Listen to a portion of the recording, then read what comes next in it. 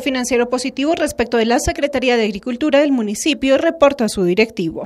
Unos incrementos de del 238%. Esto es muy importante que se conozca, porque esta administración recibe un presupuesto relativamente bajo.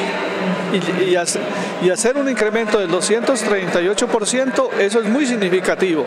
Eso significa la voluntad política y la decisión pues del señor alcalde de vincularse al sector rural.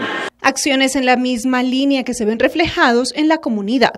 Los fondos de ahorro y crédito autogestionarios, 51 fondos constituidos, eh, son autogestionarios. La propia comunidad se encargará de mantenerlos en el tiempo.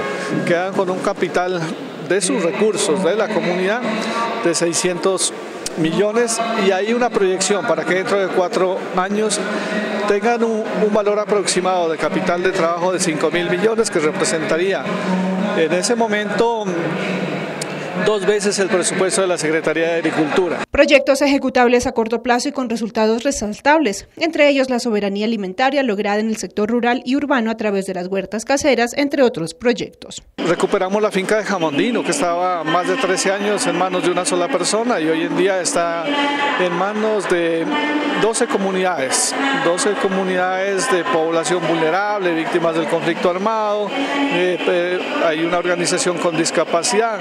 Entonces, estos son los proyectos y además eh, un esfuerzo grande hacia futuro para el tema de la comercialización, que es una debilidad que se ha tenido a través del tiempo, queda el mercado virtual y también ha adquirido un predio en Catambuco por valor de 407 millones, 5.372 metros cuadrados, donde se proyecta la construcción de un centro de acopio para el mejoramiento de la comercialización.